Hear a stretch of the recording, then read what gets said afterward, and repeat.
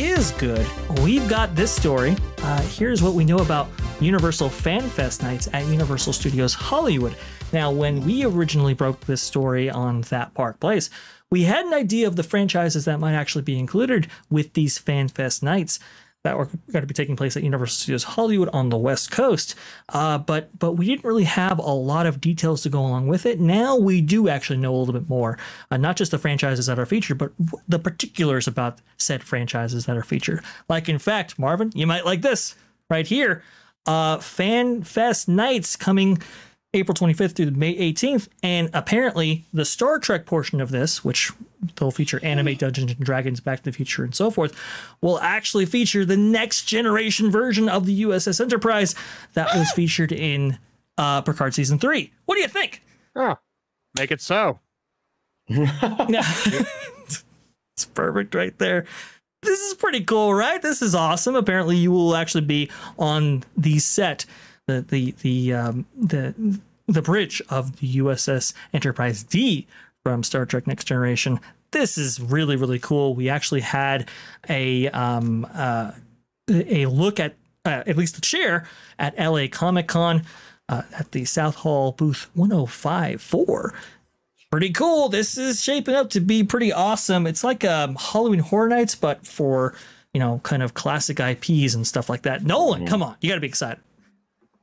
Do you know how long I've waited for them to bring something like this back? They had something like this in Vegas years ago. I never got to do it. I eh, you've made my day, dude. Like I am so astronomically happy right now. This is the kind of hype thing that gets people happy. This is what we wanted from Galaxy's Edge and not Star Trek obviously, but we wanted to be able to recreate those iconic scenes and it's like one for one. And I guess that's what happened to the chair after Star Trek Generations when uh that ship kind of died. But no, this is I am on cloud nine right now, and I cannot express how happy I am just to see. I never thought a chair could make me so happy in my life, but win, absolute win. Well, you know, uh, we we we have we have formed our bridge party for uh for Toony Talk TV, Nolan, and you are the helmsman. That does make you Wesley Crusher, though. You know what? I'm okay with being Wil Wheaton. I'll take it. I'll take it at this shut, point. Shut up, Nolan. um no, this is I think this is really really cool and the fun doesn't stop here. In fact, we heard that anime might be involved in these uh, uh, fan fest nights at Universal Studios Hollywood, and now we actually have the franchises uh, that will specifically be featured. One Piece will be featured along with Jujutsu Kaisen. Uh, that's pretty cool. Apparently, they do have a One Piece, I believe, stunt show occurring in the Waterworld Theater out there in, in, in Japan Universal Osaka. We're assuming that that might actually take place uh, here as well at the Waterworld Theater, uh, Universal Studios Hollywood in LA. So that's pretty cool. Also, too, um, Back to the Future will be featured. We don't know exactly what what they might have in store, but I am hearing from sources that what they have in store for Back to the Future is going to be really, really cool. So that's uh, very exciting. Also, too, Dungeons and Dragons. We didn't get much in the way of details on that, but I mean, hey, this is this is shaping up to be really, really, really cool. Uh, last but not least, I guess you're going to be uh, having a Niffler encounter for the for the Wizarding World portion of FanFest nights.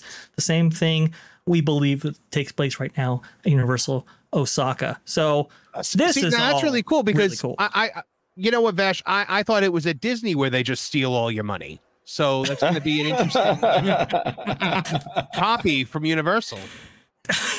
Marvin, you come up with the stuff. You're so good at this. Uh, no, I look. You know, I, I, I think Universal prides itself on being an equal opportunity offender when it comes to that stuff. I don't know, but um, I I think this is I think this is really cool. Uh, a Halloween Horror Nights type event, but more maybe family friendly and more uh, franchise driven, especially with franchises that aren't usually under Universal's control. I think is really really awesome. Bob, you looking forward to it? Uh, I think it might be kind of fun. I mean, it, the more and more they talk about, it, the more and more uh, exciting it sounds. So, uh, yeah, it sounds like something kind of right up my alley. So, yeah, I, I would like to go. Nolan, you going to be flying out across country for this? Oh yeah, totally. Like, um, is this going to line up? How close is this going to be to the launch of Epic Universe? Uh, it should take place before. Um, so the official nights are April 25th through May May 18th, and um, we're wondering if they're going to incorporate parts of the backlot, if they're going to incorporate some of the stages, uh, the sound stages that they have uh, on the lower lot and so forth that they do with um, Halloween Horror Nights right now. We're still seeing about that, but but I think I think Epic might open after this, but I'm actually not sure. Marvin. Uh, I mean, look, I'm not going to go all the way to Hollywood for it. If they ever bring it to Orlando, I will gleefully go to every single night of it. But I mean, yeah, and, and a lot of times they'll they'll pilot something like this in Hollywood before bringing it to other parks. So if they bring Correct. this over onto the um onto the East Coast, then sure, I'll I'll go to it. I think it'd be great. Uh, I love um, Halloween Horror Nights. I was just there again on Friday, so you know, I think it would. I, th- I think it's a great idea. I hope it succeeds, and if it comes, uh, you know, to a closer place to me, then I will be happy to go to it. But I'm not flying all the way out there just for that.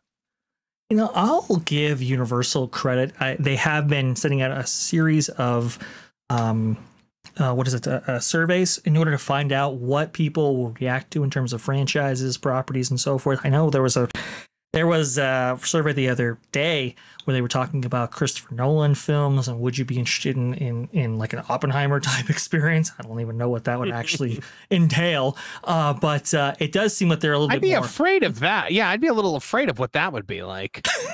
Yeah. Is it just is it just a one big explosion? I don't know. um, but uh, but no, Yeah, I, they, your they face seem, melts. yeah, exactly, and you you know you get uh, radiation po- poisoning. Oh, there's there's there's there you go. You start out with Oppenheimer, then you go with uh, Fallout. That's how they're doing it right there. The radiation They poisoning is the souvenir you get after the experience. There you go. Wow. The real the real I'm- gift was the radiation poisoning we made along the way. yes, yes, uh, in the ghouls and so forth. But they seem to be a little bit more fan oriented, and I'll give them credit for that. I think you make a good point, Marvin. They they do uh, host this stuff in Hollywood first, and then they, you know, if there's any viability, they'll bring it out to other parks. Is there any franchise, Marvin? I will say that would get you to fly out, if any. I mean, if if if they added like um some more Nintendo stuff before Orlando got it, then that would be something that might pull me out there. I just hate to fly. I really hate to fly. So like to take a 6-hour Sure. flight would definitely be um it's got to be something really big to pull me out there. Like my uh, Mrs. Movie Monster tries to make the the the point every single year that we should go to Disneyland because I've never been. And every time I think about the flight, I just say to myself, or we could do another Disney cruise. And then we end up doing another Disney cruise. Well, I would recommend uh, coming out in Disneyland at least once, but I understand uh, it, it it is quite the the journey, the trek to, to go out to uh, to Disneyland in California. It's its own vibe.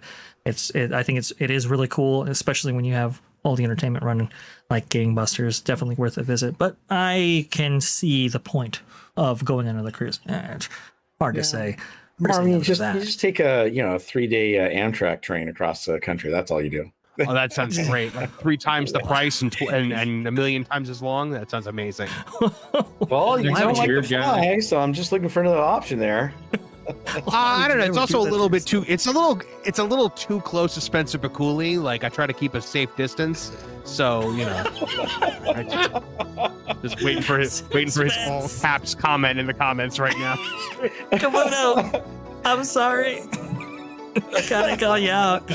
That was a highlight from our live stream on That Park Place Podcasts online, where the full stream can be found at the link in the description. But what about you? What were your thoughts on this particular story? Please let us know in the comments below. Like this video if you did like this video. Share us out as it helps us out tremendously against the YouTube algorithm. And thank you so much for watching. T3, BO. Please comment, like, and share this video, and don't forget to subscribe to That Park Place Podcasts online, your source for exclusive content and highlights from WDW Pro, The Pro Show, and That Park Place for all the news that should be fun.